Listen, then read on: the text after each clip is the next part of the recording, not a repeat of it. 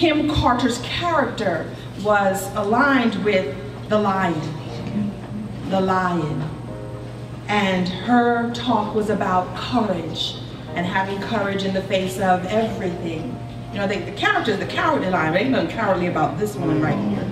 It takes an incredible amount of courage to do what you have done, to be who you are, to have launched this, and now this national and international stuff. You ain't got to be with nothing.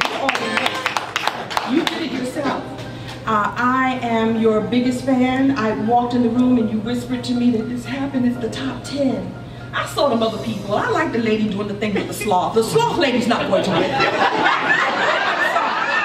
she does wonderful work with the sloths. Good for her. She's not going to win. She's not going to win. And I'm not going. To disrespect none of them people. But I think she's saving sloths. I didn't know the sloths needed saving I'm happy for the sloths. I'm happy for the work that she's doing with the sloths, but I'm happy for what you're doing with the Time For Change.